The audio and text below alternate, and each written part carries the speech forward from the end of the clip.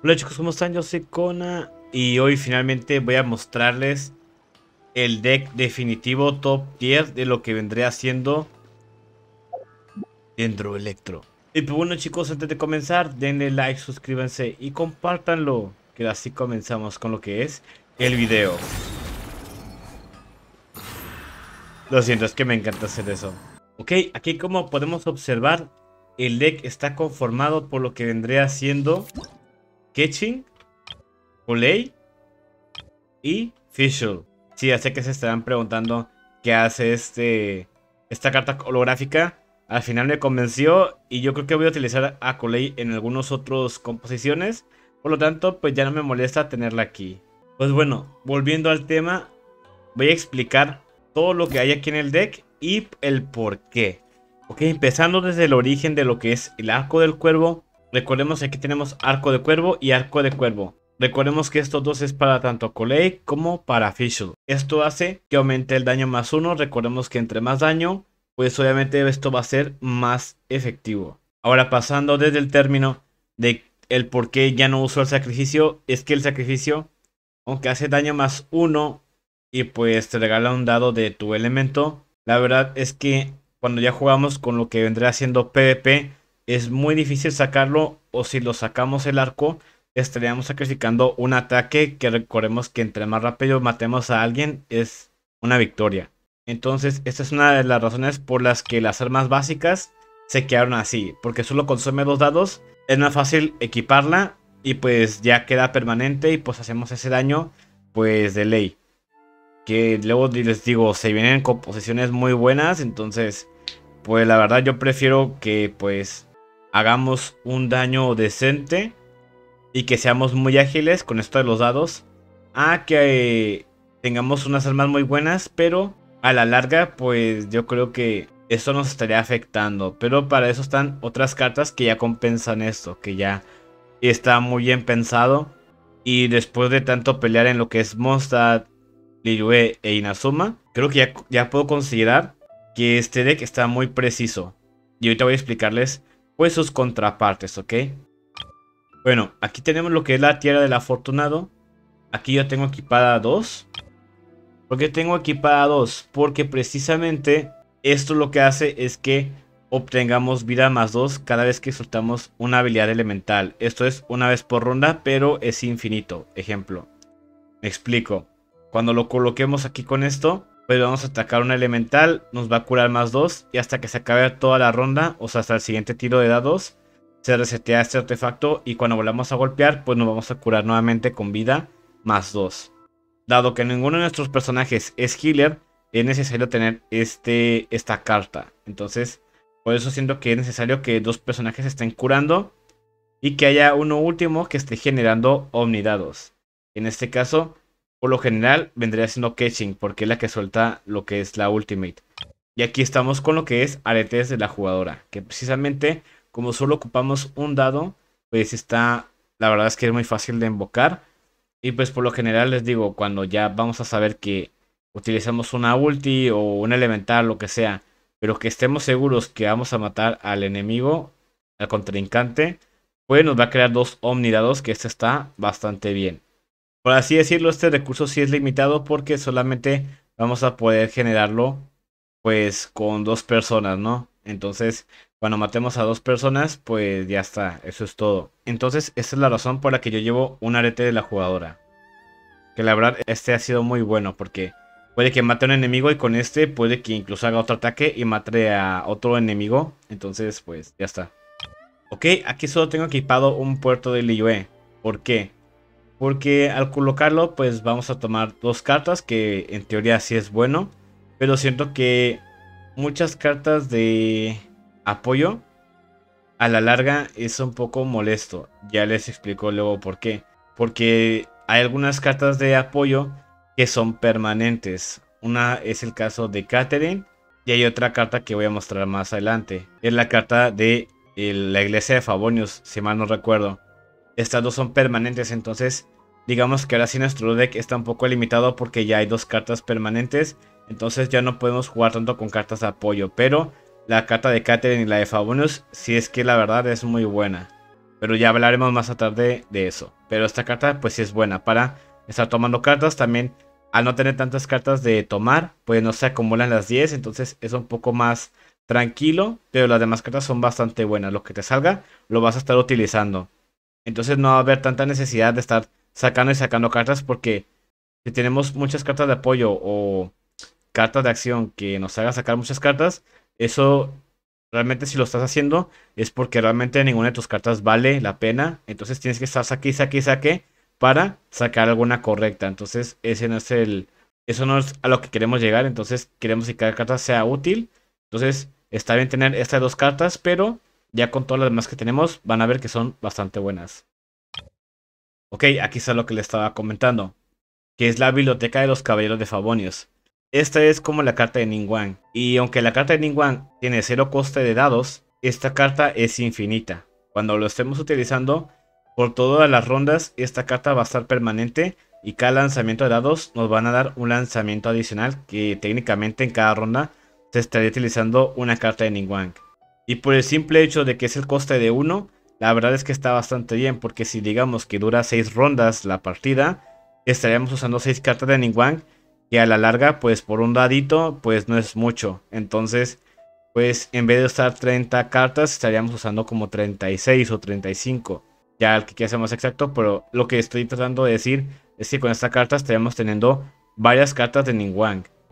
Y eso súmale que cuando utilizamos esta carta, en el momento que la activemos, ya nos deja hacer una fase de lanzamiento, como aquí lo está mostrando. Y luego ya después de las rondas ya salen más. Entonces, digamos que las rondas que dure pues súmale una extra, en teoría. Porque no entraría hasta la fase de lanzamiento. En el campo de batalla hay un relanzamiento, un reroll, y luego hasta la fase de dados había otro reroll, y así hasta los que sigan. Entonces le digo, a la larga esta carta es muchísimo mejor que la de Ningguang, pero pues ya sería en el caso de que la contra es que te va a ocupar un espacio permanente en la sección de cartas de apoyo. Que lo que he querido es compensar quitar cartas de apoyo para poner cartas de acción rápida para compensar ese pues ese problema, ¿no? Para que sea un poquito más equilibrado. Pero ya está, esta carta es muy buena. Ok, posada de Wangshu. Aquí como lo estamos viendo, pues esta está muy buena porque con esta ya no tenemos comida. Bueno, en el caso antes no utilizábamos comida. Pero es que en el PvP, pues la comida y todos los recursos de curación, pues siempre es bien recibido, ¿no? Entonces por este pues va a curar los personajes que estén en modo de reserva, o sea, el que no estés utilizando actualmente. Así que solo hay que tener en cuenta que si te están atacando a tu personaje actual y los demás tienen la vida en 10, pues vas a tener que cambiar de personaje para que lo cure, porque si no, no lo va a curar. Pero esta carta está muy buena para curar a los demás personajes, ¿no? Cuando estés haciendo una acción de ataque, pues los demás van a estar curando lo que tú haces esto. Ok, y esa es la que confundí que se llama Catedral de Favonius con la otra. Esta no es, esta no te da reroll, esta es la que hace es que te cura al personaje actual, vida más 2. Entonces ya tenemos de compensación esta que cura a los de reserva y tenemos esta otra que cura al personaje que está en el momento. Entonces, entonces como les digo, esta es muy buena. Simplemente hay que tener pensada cuándo actuarla, pero tener una y otra, la verdad es que está bien tenerlo bastante balanceado. Yo no consigo tener ya más de más de una de estas, tener solo una y la otra, porque ya hay otros ítems que van a estarnos curando, ya les digo, y por los artefactos. Entonces, el tema de la curación ya no es tan importante porque ya lo vamos a estar haciendo de otras formas. Ok, Catherine, creo que no ocuparé decirlo. Es la carta que vamos a utilizar en cualquier deck. Le digo que esta es super meta, entonces al tener a Catherine, recordemos que cuando lo coloquemos, al momento de cambiar de personaje, aunque así nos va a cobrar un dado, lo que va a hacer es que no se acabe la acción inmediata. Por ejemplo, cuando hacemos un cambio de personaje en tiempo real sin Catherine, cambiamos de personaje y se acaba nuestro turno. Con Catherine esto no pasa. Cambiamos de personajes al que queramos hasta que no hagamos una acción de combate.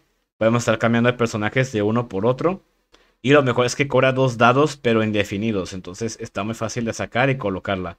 La contra es que de igual manera, pues esta carta de apoyo es infinita. Se queda colocada. Entonces solo te quedan dos espacios para estarlos utilizando con Timmy, Liven, entre otros, ¿no?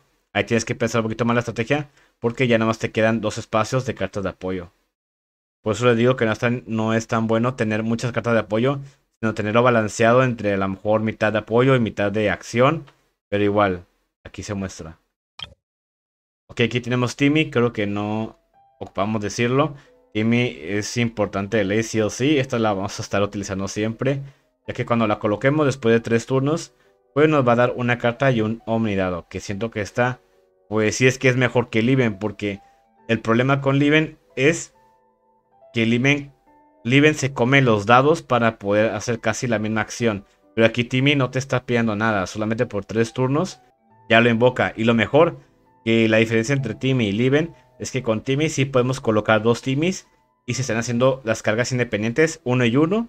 Y cuando las dos llegan a tres, pues nos van a dar dos cartas y dos omnidados. Que con Liven no pasa. Si pones dos Liven, primero uno se va a comer los dados y luego hasta que se coma los dados una carta, vamos a pasar al siguiente Liven para que se coman los dados. Entonces por eso es que así lo dejamos. Timmy es mejor que Liven. Aquí tenemos a Liven que también es bueno. Pero les digo que pues aquí Liven sí podría ser reemplazable en un futuro. Por el tema de que tiene que recoger este dados elementales.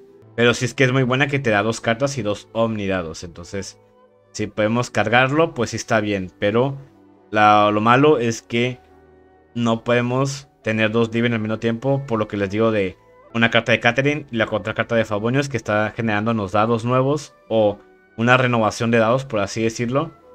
Pues es que la verdad, pues aquí Liven estoy como que entrepensando si quitarlo o ver qué otra carta quito. Porque Liven ahorita como que me está empezando a estorbar poquito. Nunca creí, nunca creí que ese día llegaría, pero está pasando. Entonces, pues si encuentro otra carta mejor o una combinación mejor, pues tal vez Liven se vaya de mi deck. Pero por el momento sigue estándolo, entonces aquí lo dejamos. Como pueden observar, ya no tengo dos Liven, por lo menos que les comenté. Entonces dejé un Liven y lo cambié por un Chang el noveno, en dado caso de que me saliera un Liven y un Chang, pues estamos haciendo lo que es comedados para generar aquí dos cartas y dos omnidados y con Liven pues haciendo las cargas de inspiración para tomar dos cartas. Entonces pues ya por eso tengo un Liven y luego echan el noveno. Luego aquí también podemos hacer Liven y luego poner un transmutador paramétrico que este también con las elementales de crear tres dados elementales distintos. Y aunque digas, pues es que son distintos, con el deck que tenemos actualmente que son muchos dos dados indefinidos, un dado a final de cuentas, esta carta te sirve para estar activando cartas de apoyo y cartas de acción. Entonces, esta carta ya en este tiempo sí es que sirve. Entonces, pues ahí te lo voy a dejar como, como una opción. Y pues ya está. Esta está muy buena. Aquí obviamente no puede faltar la consonancia elemental de rayos entrelazados. Porque recordemos que lo que queremos es generar más dados. Y pues qué mejor que estas cartas, que tengo dos que pues estas te crea un dado electro por un costo gratis. O sea, realmente no te está pidiendo nada, te está regalando dos dados electro. Entonces, de gratis, lo único que te pide es que en tu mazo haya al menos dos personajes electro. Que lo que es, que es lo que les he estado diciendo de que ya en las siguientes composiciones hay que tratar de tener casi siempre dos composiciones elementales del mismo tipo. O sea, dos personajes del mismo tipo y uno, y uno indiferente, ¿no? Esto es para que podamos tener dos dados gratis de cualquier composición. Y pues recordemos que más dados es equivalencia a más acciones de cartas, tanto como una acción de combate extra. Entonces, esto es lo que puede decidir si ganar una partida o perderla. Entonces, ya les digo que esta es casi como meta para cualquier composición em, de las cartas. Dependiendo el, el elemento que tengas, siempre trata de tener dos personajes del mismo elemento para tener estos dos dados, ¿no? Ok, este caso es muy específico con lo que es la composición dendro-electro, porque ya les digo que estas consonancias son diferentes una de cada otra. En este caso aquí, a mí sí me sirve esta carta, porque de hecho la reemplacé por la de Klee. Recordemos que la carta de Mona pues te pide dos dados indiferentes para darte una energía. La de Klee te pide un dado, pero le quita una energía de un personaje o dos y se la manda a otro personaje. Este es como lo más balanceado que encontré y lo mejor. Porque esta carta te regala uno de energía al personaje. Si no tiene la energía llena, te regala uno de energía. Entonces, esto es como la carta de Mona. Pero te pide solamente un dado y no roba energía, por así decirlo. Entonces, el simple hecho de que te dé puro energía y no le quita a los demás, que es lo que haría la carta de Klee, pues yo puedo este, poner a Mona más rápido, más fuerte, para que saque la ultimate. Y podría hacer que mi colega tal vez tenga preparada su ultimate también, o Official. Entonces, esta carta me gusta más sobre Klee. Solo en esta composición, recalco, porque aquí esta consonancia está muy buena porque regala una energía con el coste de un dado. Entonces, por eso en este deck yo descarté a Mona y a Klee. Ok, aquí está compañera de viaje Paimon, que son dos, que esta pues, les digo, no ocupo explicarlo, pues aquí Paimon lo que está haciendo, es de las mejores cartas, técnicamente convierte dos dados de lo que tú quieras en omnidados, o sea, es una belleza. O sea, realmente no te está costando ningún dado, porque lo que hace realmente es convertir dados pedorros en dados omnidados, que es para lo que tú quieras, y eso cambia la partida totalmente. Entonces, les digo que aquí te dice dos dados, realmente es un coste de cero, porque te lo está intercambiando. Entonces, pues, esta tiene que estar sí o sí. Aquí tenemos planificación táctica, que esta, como les digo, es de tomar dos cartas igualmente. Pero la diferencia entre la otra carta es que la otra es de apoyo y esta es de evento. Al ser de evento, son acciones inmediatas, entonces no va a estar en la carta de apoyo. Entonces, si yo me quedo bloqueado, que ocupo poner a lo mejor la carta de apoyo para tomar dos cartas, pero aquí tengo la carta de Kokomi, pues puedo utilizar la carta de Kokomi que es inmediata para sacar otras más cartas. ¿Me explico? Entonces, esta es como una opción por la que tengo dos de Kokomi y está bastante buena. Ok, aquí tenemos retorno de la grulla, que de hecho nuestra composición se basa técnicamente en cambiar de personajes a cada rato para hacer la reacción de aceleración. ¿Y qué hace la reacción de aceleración? Recordemos que te aumenta el ataque de tus personajes por 3 turnos y si volvemos a activar la reacción de aceleración que es con dentro de electro, pues se renueva eso, ¿no? Entonces hacemos muchísimo más daño y pues la ventaja que voy a explicar más, más después con lo que son algunos temas de combate, que voy a ver si puedo alcanzar a poner un video. Pues eso es todo, ¿no? O sea, retorno de grulla lo que hace es que activamos retorno de grulla y después de eso, al atacar con una habilidad, ya sea básico, ultimate o elemental, vamos a cambiar al siguiente personaje que es a la derecha. Y pues obviamente con hacer esto, pues vamos a estar intercambiando, estamos generando aceleración a cada rato. Y pues no creo que ocupe decirlo, pero pues vamos a tener más ataque. Entonces por lo tanto, pues vamos a terminar la partida mucho más rápido. Aparte de que los personajes que tenemos son bastante buenos. Ok, aquí tenemos lo que es Tentación de Adeptus.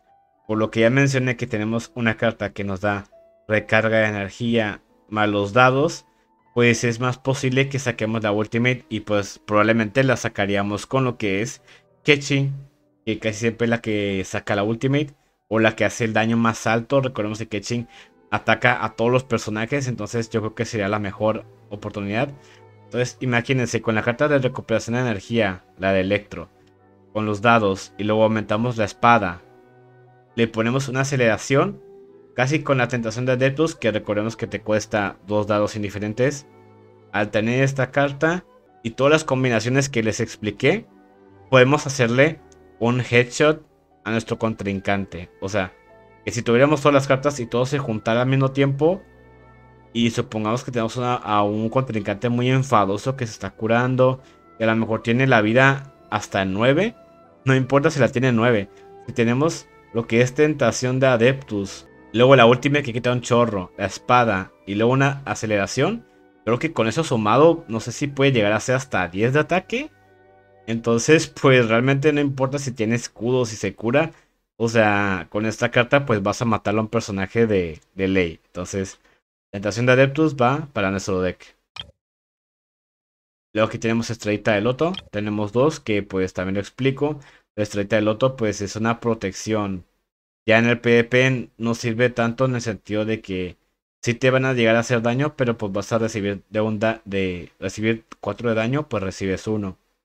Y si bien te va, pues no te hacen ningún daño, ¿no? Entonces, si está bien usarla o tener las dos, porque esta nos va a estar protegiendo por el dado caso de que no podamos curarnos, por lo que sea. Y si no podemos cambiar de personaje, pues esto nos va a defender para poder cambiar a otro y que no nos los maten. Entonces, La estrellita del loto a la larga está muy bien esta defensa. Aquí tenemos el pollito asado con miel. Que pues este nos dan coste de cero. Y este pues si nos aparece pues está bastante bien porque una curación extra que podemos utilizar de emergencia para cualquier detalle, ¿no? Y pues no, no cuesta ningún dado, entonces pues en mi caso pues está bien. Aquí como estamos viendo tenemos tortilla de papa de Mondstadt, que esta sí te cobra un dado. Pero esta cura pues más dos, que ya si juntamos el pollo con miel y la tortilla de papa, pues estaremos curando casi lo equivalente a lo que es una carta de apoyo, pero de acción instantánea. Ya con todo el deck que tenemos, pues me hice la tarea de poder poner también esta comida, que son instantáneas, y las cartas de apoyo, para que esté un poquito balanceado y pues sobrevivamos más y así, ¿no? En este caso es obviamente para PvP porque cuando estamos refiriéndonos a NPCs que nos piden pues que terminemos más rápido las partidas, pues aquí solo podríamos intercambiarlo por este, comidas que te aumenten el ataque. Y ya, eso sería todo.